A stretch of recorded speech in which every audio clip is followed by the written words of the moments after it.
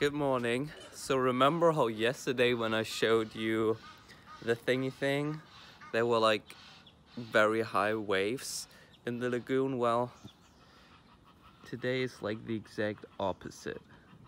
This is like the calmest water you might have seen. This is so beautiful. And I'm drinking instant coffee, but the instant coffee is actually from Bremen. That's crazy, right? In South Africa, I'm drinking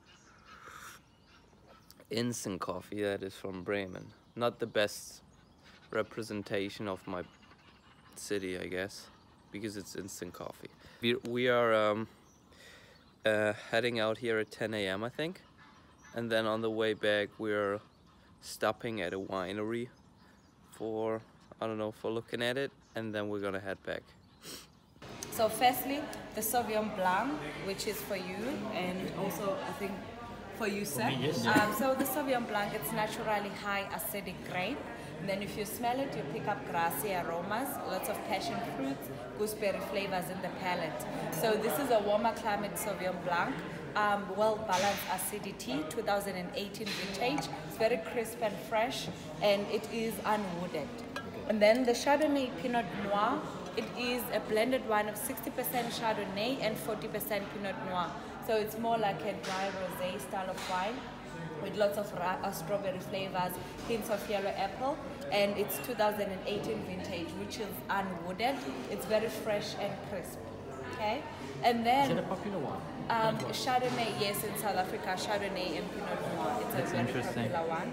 And then with the Chardonnay, Chardonnay, it's naturally high acidic, but not so much aromatic on the nose. So you pick up lots of citrus fruits, limes, lemons on the palate, and this is 2017 vintage, also unwooded. So these are the type of wines that you can enjoy on their own and also with your light meals because Yeah. they are made to open now, drink now wines.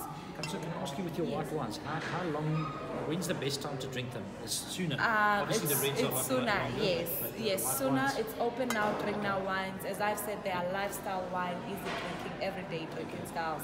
But if you want to keep them, I would say five years in your cellar. can? Yes, so you can keep them in your cellar.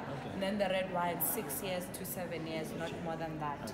And then um, with the red wines from the signature, they only spend eight months in the French oak.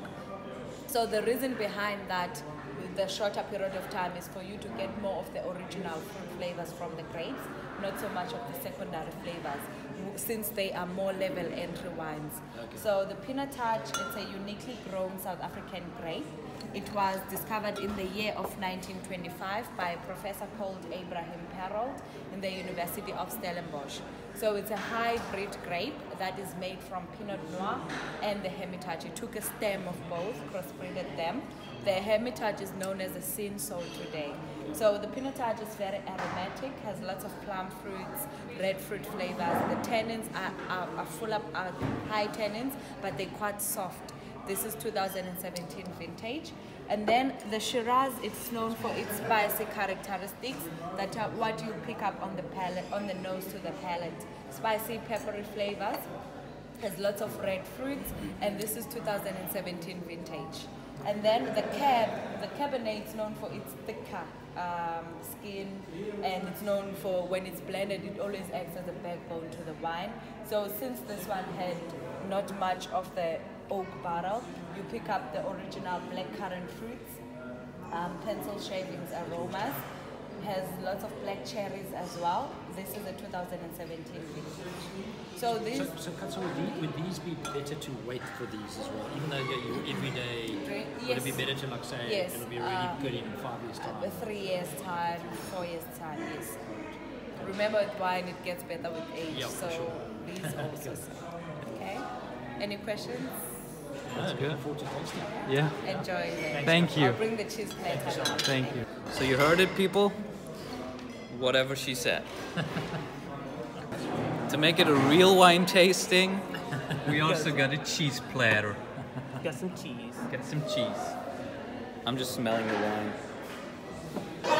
So we just finished our wine tasting, and gotta say it was really good.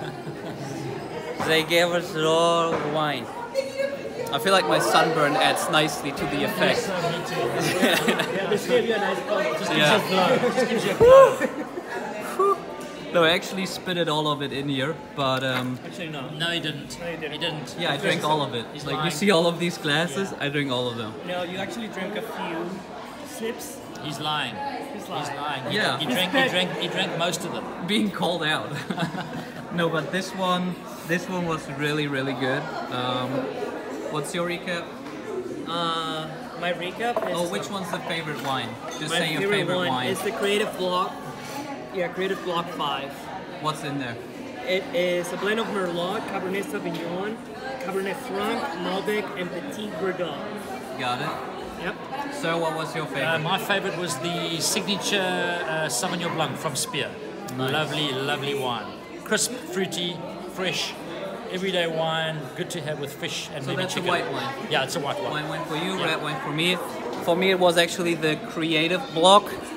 Three was this one um, with Shiraz, Mourvedre, Viognier. Actually, all of us didn't choose the most expensive one. Correct. Yeah, We didn't. we had we had one one of the very expensive ones, and we actually none of, none of us liked it the most. We all liked the inexpensive version of the Pinotage more. So was a really good experience, um, and now we, you know, gotta head home. He's driving, not me. and right after we arrived, um, actually went back to work. I actually got the the um, the vlog for today, which is obviously from two days ago, up on time. So we actually didn't mi- miss a single day. Not only didn't we miss a single day of the daily vlog, we also always posted on time, which is crazy. So that most of that credit goes to Ricky. Thank you, thank you, thank you. You did it! Thank you. Um, but most of that applause goes to Ricky because Ricky, you guys Ricky? know that. Ah, Ricky. I don't even know that guy. Um, he's um, I don't know where he's from actually. He's um, he has a beard and um, he does YouTube and stuff. Then why are we shutting him out? Oh, I don't know. Just a random Ricky. Ricky, whoever you are, wherever you are, thank you for being my YouTube manager um, and making sure the videos upload on time. But also, we are flying back on Tuesday. Today's Sunday, which means um, I just had a weekend of no internet, and I'm gonna have a flight that's gonna be 16 hours where I won't have internet. So that means tomorrow's gonna be um, a relatively busy day, and then Tuesday probably two before we departure. Um, but yeah, that's that's just like random quick heads up that you guys are not interested in at all, because you know. But anyway, just wanted to let you know because you know that's what we do here, just letting you know about things that happen. Yeah, cool.